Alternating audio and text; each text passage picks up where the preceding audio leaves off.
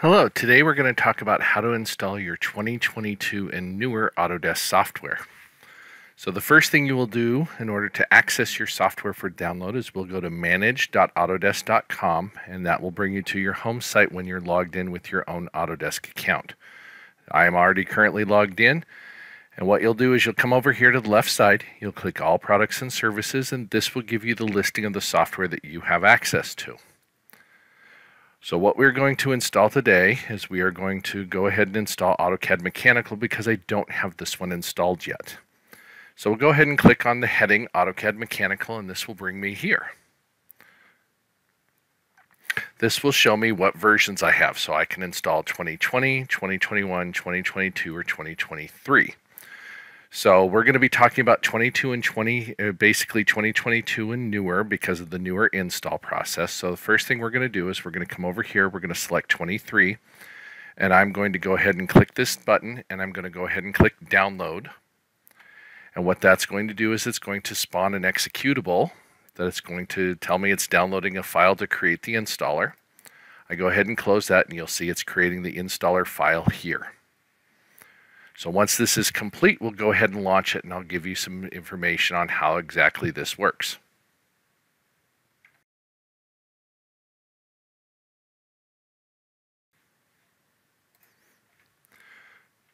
So now that I've downloaded the file, we'll go ahead and drag this over here. All we simply need to do is double click on the installer.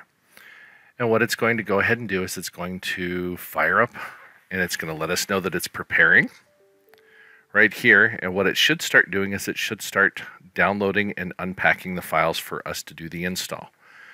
We just have to be patient here. This is basically what we are going to be waiting for is for the Autodesk servers to give us the complete download package, and then we'll start the install process.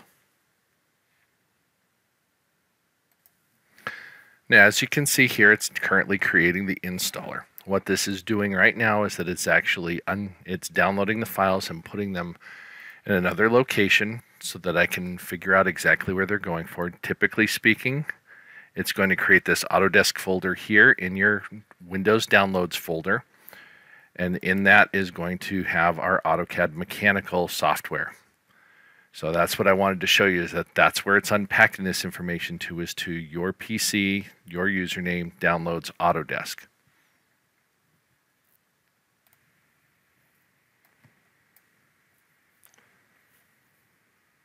Now, as you can see here, the download is completed. It's finalizing, making sure that all the files are intact.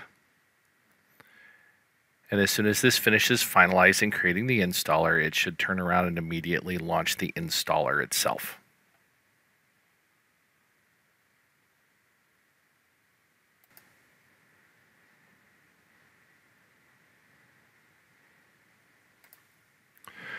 When it's finally finished, you will be presented with this screen. It says the installer has been created successfully, and now I can either go ahead and open in the folder or I can run the installer at this point. I'll go ahead and run the installer.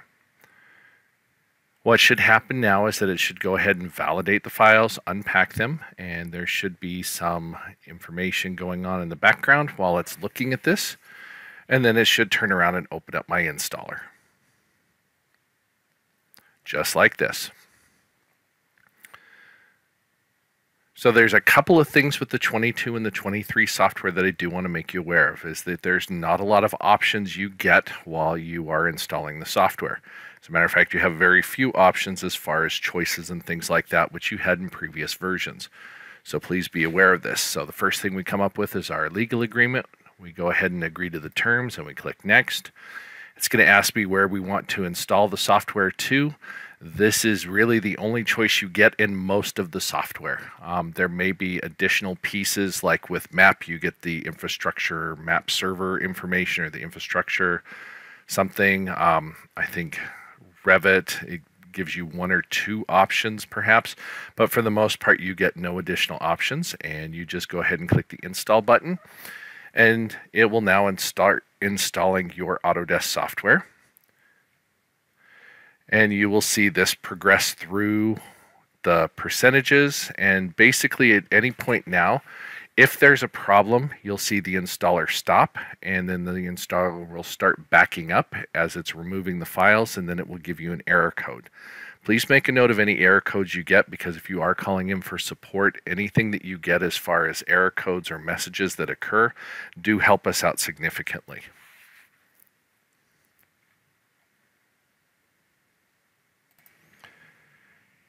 And usually you will get to this point where it says you can start running the, I can actually start the program right now if I want. There are some ancillary files or some other things that it is doing in the background while I'm doing this. What I typically do at this point is I wait. I don't go ahead and start the program um, simply because I want to make sure that the program is completely installed with all the ancillary files and anything else that it may need prior to me launching it. This will ensure that I have a successful launch on the first try and this causes fewer problems. So even though it says I can start running the software right now, this is typically where I choose to wait and I wait for this to complete entirely.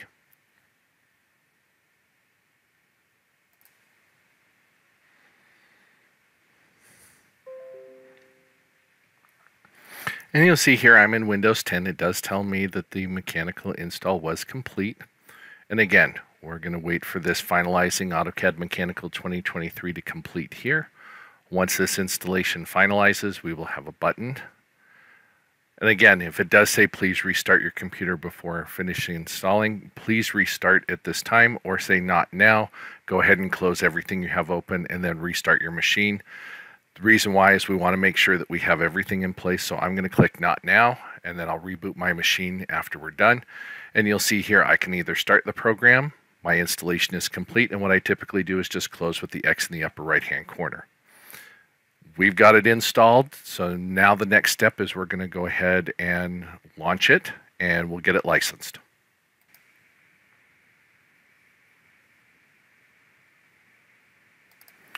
All right, so I've rebooted. Here's my AutoCAD Mechanical. So the first thing we're going to do is we're going to go ahead and launch this and it's going to ask me to migrate my custom settings. Typically, I don't want to migrate my custom settings at all. If I do, the only thing I don't want to do is migrate the CUI. I want to keep only the CUI that's native to 23 in 23. And I don't want to replace the 23 CUI with the 21. So always make sure you uncheck that if you do.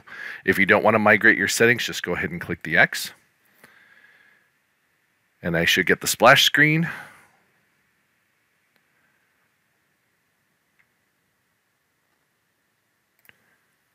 Here's the splash screen just like this. And basically what it's going to go through here is it's going to prep my system for the first time launch of AutoCAD Mechanical 23 because that's what we just installed. And as we wait for this to come up, there's a couple of things to be aware of. The first thing that's going to happen is that we'll get through this. It'll apply any updates if any have been installed. Once this comes up, it'll bring up our UI shell, in which case we'll see AutoCAD Mechanical, and then it should prompt us to activate the software.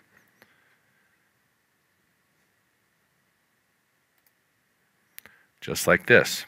Now it's going to ask us to either sign in with our Autodesk ID, enter a serial number, or use a network license. Most of us should at this point be on sign in with your Autodesk ID. This will be your email address and then the password you've created with the Autodesk with Autodesk for your Autodesk software.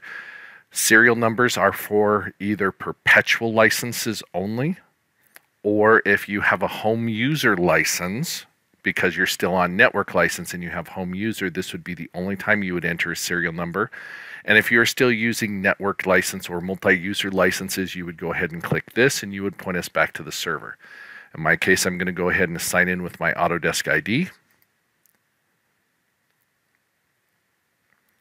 And it should turn around and bring in our Autodesk sign-in box. At this point, this is where you put in your email address and this is where you put in your password.